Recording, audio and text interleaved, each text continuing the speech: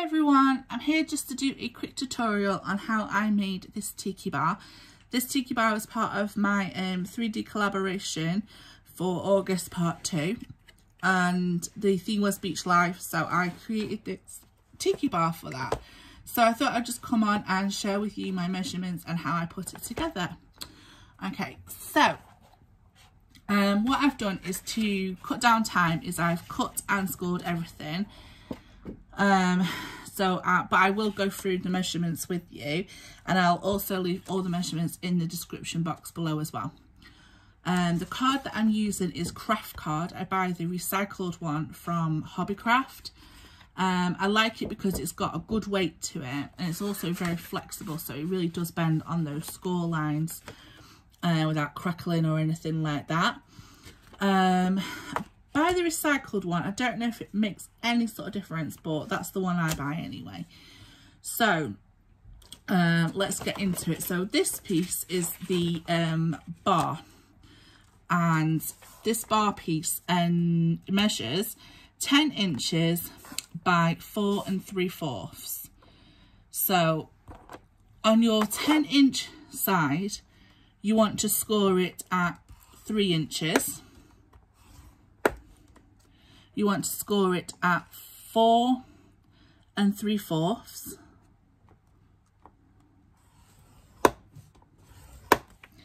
And you also want to score at seven and three fourths. And then at the end, just score it at nine and a half. Like so. And then you just want to fold up on those score lines. You can use a bone folder to do that.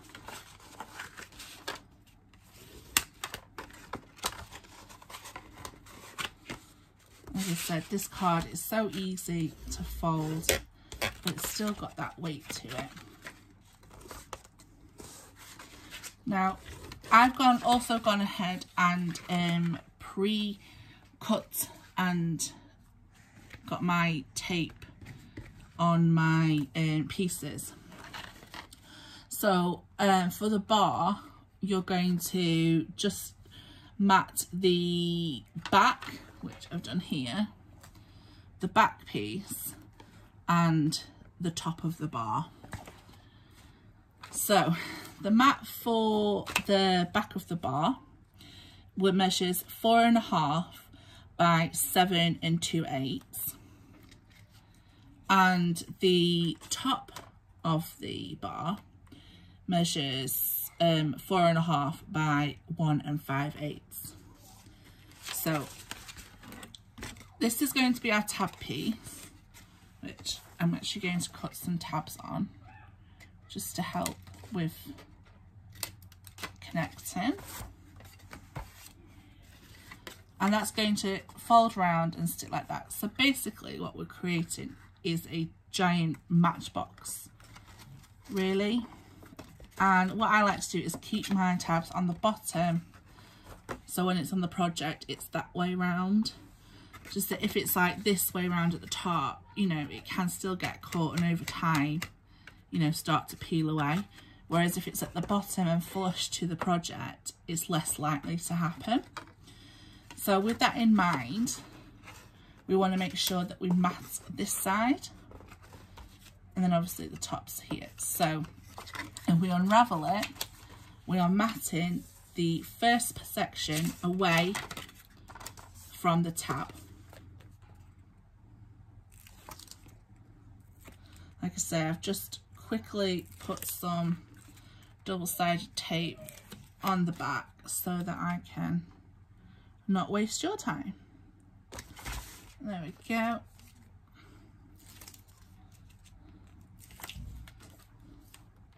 And then there is the top. I actually got this uh, paper pad from a Hobbycraft as well. It's, it didn't have a name, but it was, I loved it. It's got lots of tropical palm trees and things. Very pretty. Okay, so now I want to just glue this edge and I'm just going to use some hot glue because I said we'll just wanna do this quickly.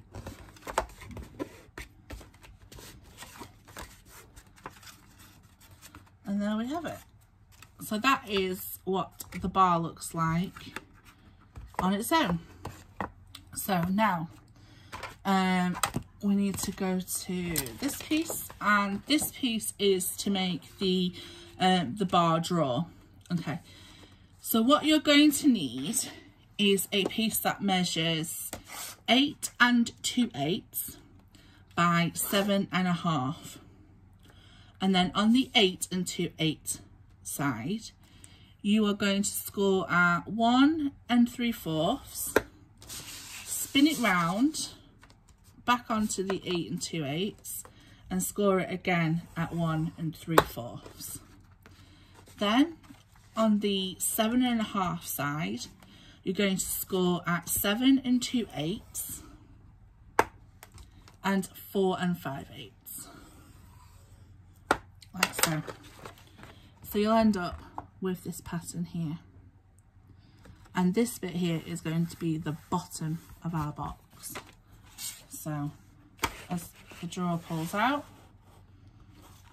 it's going to be that bit here and they're the sides.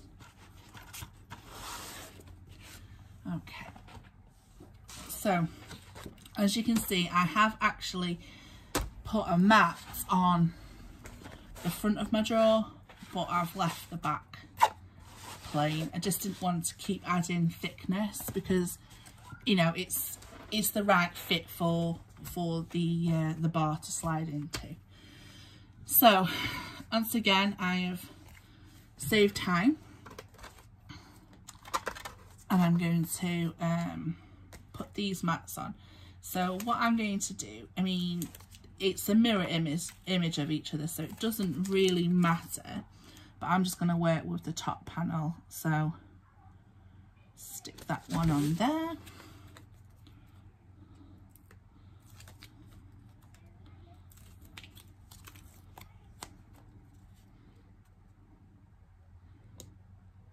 I love this pattern paper because it doesn't it's the leaves are going in all directions so it's uh, it doesn't really matter if I um, just used up some scraps so there we go.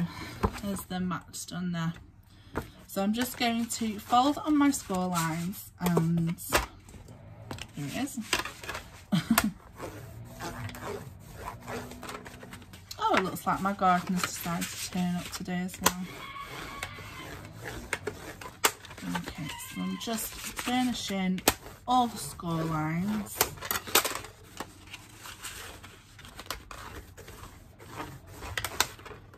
Like so.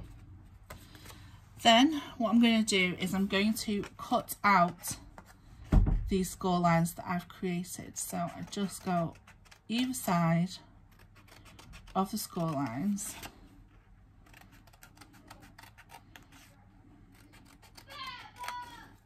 and I cut them.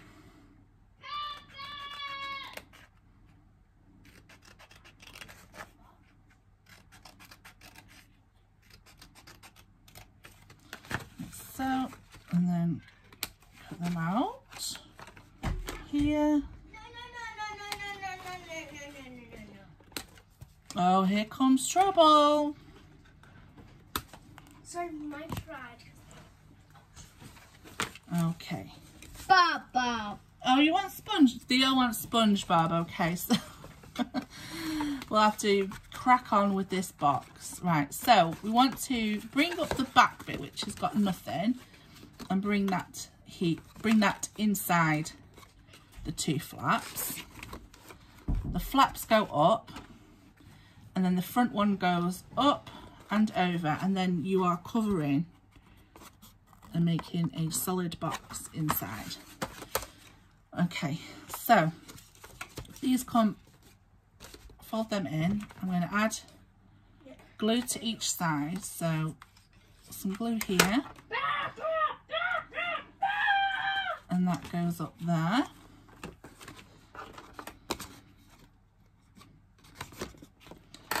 Glue on the inside. And that goes up there. Like that glue strings. This glue gun is so stringy. And then I'm just going to add some glue to these side panels and that comes up here and again here.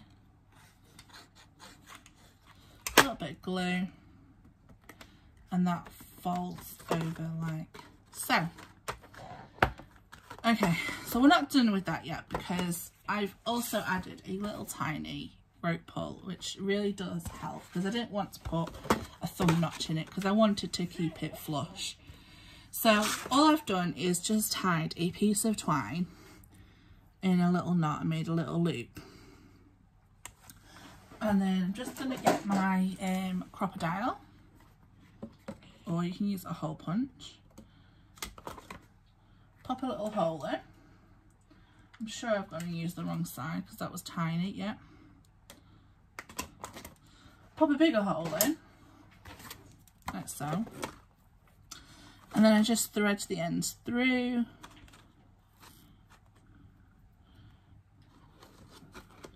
Like that. And then I pull it down. I want to pull pull the string down so that my loop sort of sticks out more.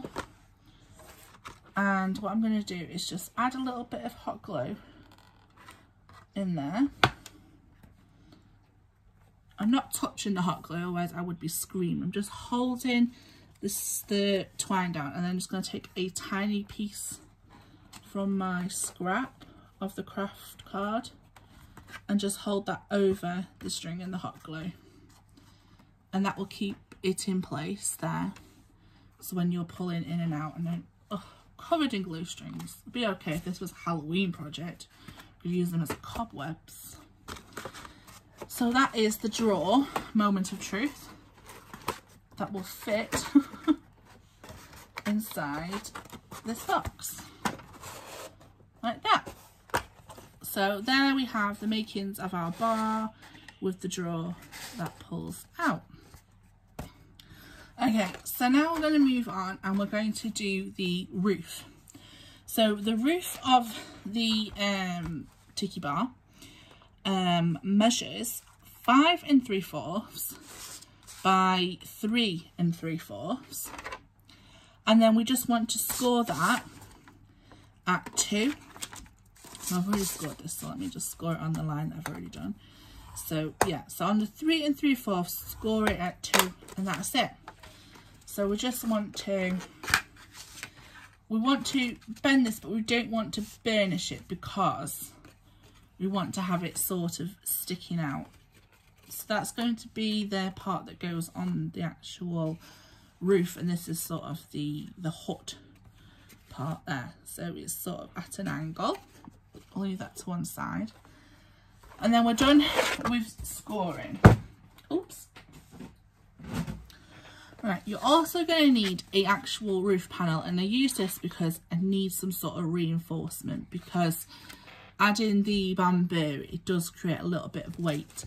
So I just wanted to add a reinforcement part. So this, this roof piece uh, measures five and three fourths by three inches. And that's it, you don't need to do anything with that except I did add a, um, a piece here. Just you know I just wanted it not to just look plain. So I just added a piece of card. And this measures five and five eighths by two and seven eighths. Like so okay now the base here is actually chipboard and that measures six by six and I've already gone ahead and um, matted this on. This is actually the um, other piece to that. So it was a 6 by 12 piece that was in my pad. So I've just added that to it. I'm sure you won't see the giant feet um, once the tiki bar is on. Okay, so now to assemble. And to do that, you're going to need um, four straws. So I'm just using these uh, paper straws. Um, just found them pound shop. You can get them anywhere. They're just simple party straws. And you're not going to see the design. if you are using the bamboo. I mean, you could make this without the bamboo. Um, you know, you could carry on matting and stuff. It would still, you know, take shape. Um, but if you want to, these straws, you need to cut them at seven and a quarter. So they need to be seven and a quarter in length. And you will need four of them. So I've just, what I've done is I've used this bamboo and I've already cut out um, my roof, which I've actually made a little bit longer this time. And I've also um, cut out my front of my bar and then I have cut out some of the, the, straws but I've left this one ready to do. So there's one already wrapped up in there as you can see. Now if I was to straight cut this bamboo everything is going to fall apart because of where it's been stitched. So I thought I would just show you what I've been doing um, and that will probably help. So once I've rolled the straw before cutting I just go along the next part and just put um, a layer of hot glue and I'm just using the nozzle to spread that out like that. And it really doesn't take that long to dry because it's hot glue. I'm so, always so tempted just to rub my finger across but that's just a silly silly idea to do because it's hot glue and that would really hurt so just give it a couple of seconds and then I'll rub my finger across because it's dry. and I know I'm going to hurt myself. So you might end up with blobs like that, but it's okay. They can be picked off. And then oh, I want to go a bit, a bit close to this side actually. Don't forget you can cut through hot glue, so don't be worried about it not like ruining it or whatever. Okay. If you have a silicone finger thing, I always keep saying to myself, Jessica, you must buy a silicone thing because then it's not going to hurt. But do I ever? No. Have I ever put one in my Amazon basket? No. okay, so your straw and it actually turns out being like a tear shape. I'll see in this one better maybe rather than a circle. Okay, so now our next one is, so we're ready to do the next one. So what I do is I, where I've just laid that hot glue, I just go along and put another bit of the glue. I add my straw like so. And then I fold it over and I just check. And then what I do is I fold it. I'm totally in my own way. And then before I do the last turn, which is like that, I add my hot glue to that edge where the bamboo and the straw meet. Like that and then I fold over till the bamboo touches. And then as that's drying, I just add my last layer. Yes, darling, we'll do SpongeBob in a minute. Shh, Mummy's doing a recording. Good boy. Yes, Theo is absolutely loving SpongeBob at the minute. Okay. So that's cool enough to cut.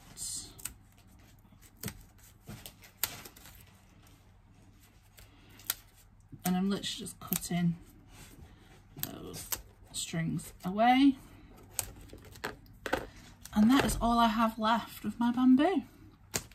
So what I've what's happened actually is I'm not going to have enough to do this part of the roof but like I said it's you know that's just purely because I've run out of bamboo. Otherwise I would have done. Um so I'm just going to quickly give you the measurements now. So what I do when I'm measuring um the bamboo is I get my pen and ruler and I just simply make my marks like this and then this way along the edge you know and then I just just connect them.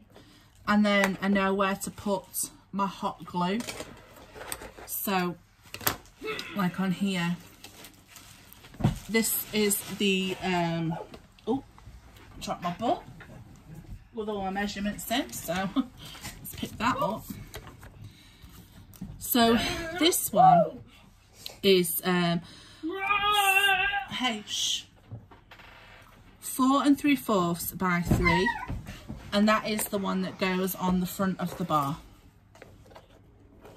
Like that it's going to go on the front there. So I just measured it out put hot glue on each end and then I was able to cut it. And that will stick on there. And again with this one because I knew I wasn't going to be able to have enough I just wanted to make that one a little bit longer. So the measurements I've got for that one was six and um, two and seven eighths. So that's six and two and seven eighths. And that's going to go on the top of the bar. So that'll be the hut and then uh, there isn't really a measurement for these. Like I said, I'm just hot gluing them down and then rolling and gluing. But if you wanted to add this part, um, you would need to cut that at six and um, six by two and one eighth. Right, so let's assemble. Okay, so I'm going to just start with this one first, which is the bar. And all I'm going to do is make sure that I'm using the back where the hot glue already is. Are you giving me some kisses now? Thank you, Theo. So I'm going to put SpongeBob on it quicker. Like that. And there we have one bar created. then here we're going to add the no the roof so on this one because this is longer and hanging over I'm actually going to put the glue on to the craft card first so just a couple of lines and then line that up slightly I just want a little hang I don't want too much Okay. So, because these bits are actually falling off a little bit, I'm just going to trim them up. So I'm just going to pop that hot glue on there. Budge it over.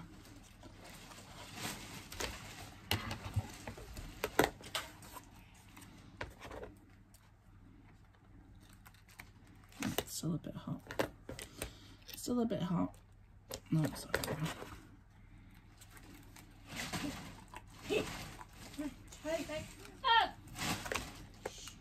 There we go.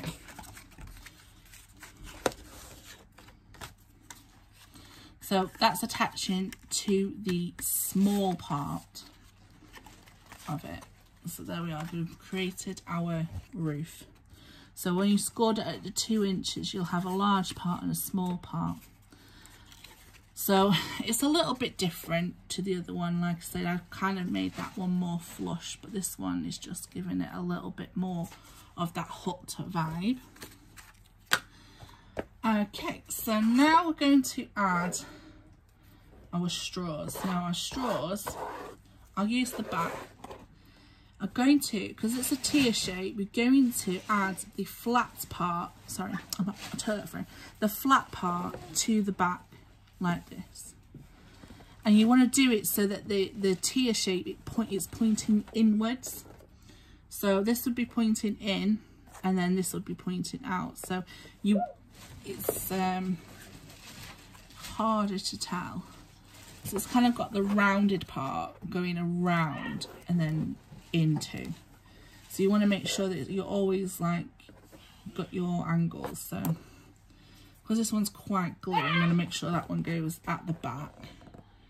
And that will need to go there. Now, I'm not actually going to stick mine down onto my uh, 6x6 because I'm going to send this and do this as a, um, a hidden giveaway. So if you would like to win this tiki bar that I'm making, and it, I mean, it'll be there for you to decorate and do what you like with, I'm going to send it in the mail. So it's going to be like, you, you can attach it to this part yourselves. But if you'd like to win this tiki bar, just leave a comment in the section where your favourite holiday destination is. So if you do that, then I'll put you in a little draw and I will announce that um, next week.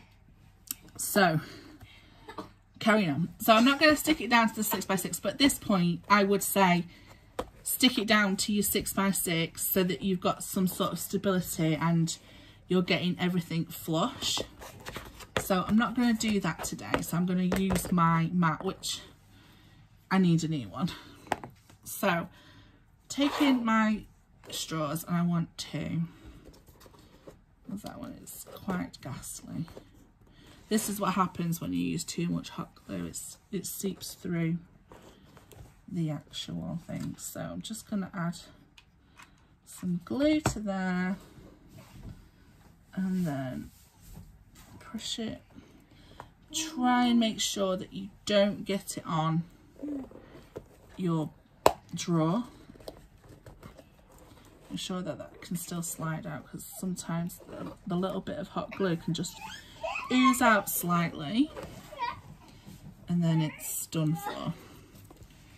And I'm just going to move that out of the way. Add a bit more glue here. Like so.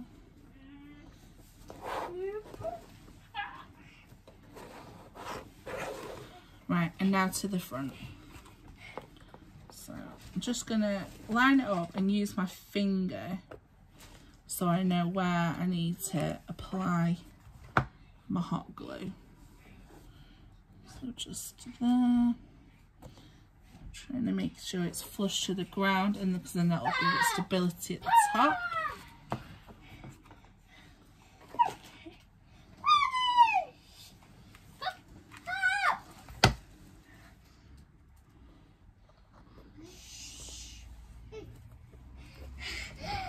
There we go. Okay, so now I'm, going to do is because I haven't done a mat or anything for that, I'm actually going to stick this one on first and then I'm going to stick my reinforcement on top. Alternatively, you can put your reinforcement on first and then stick that on top. Actually, I am going to do that. Don't know what I'm saying. Ignore me for a minute. Okay, so we're going to stick this one on the top first. And to do that, I'm just going to add a blob of hot glue onto each one of these. And then add that to the top. There we go. Like so. Okay. And what I'm going to do is I will put a mat on that. I'm just not going to do that right now. And then that is going to stick onto that reinforcement there. So let's add some glue. Make sure we're at the, we're sticking it to the front. Like so. And there we have our little hut. Okay, so this might be a little bit floppy. What I do is um, add a little bit of hot glue, but I'm just going to take a little bit of scrap craft card like this and just cut two strips. Oh, that's too thin.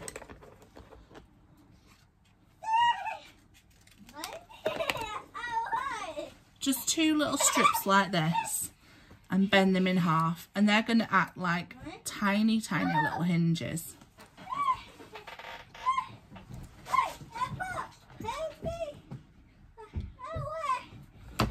add a little bit of glue and then stick that to your straw part. Do one on the other side. Like that.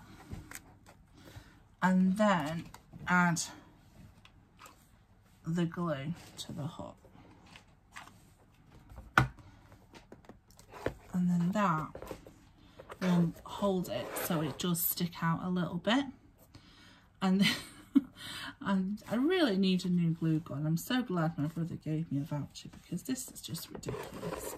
The amount of glue strings is unreal. So that's it. That is how you make a tiki bar. Like I said, I will put a mat on this bit. Um, it was only because I didn't have enough bamboo and I couldn't, that wouldn't have fit, you know, and that was literally the last bit I had. And again, that wouldn't even cover it. So I'll mat that. And if you, like I say, if you do want to win this tiki bar, and obviously it's got its little beach to sit on, um, just comment in the uh, description box your favourite holiday destination. Well, thank you for sticking with me even through um, my kids um, demanding SpongeBob from me.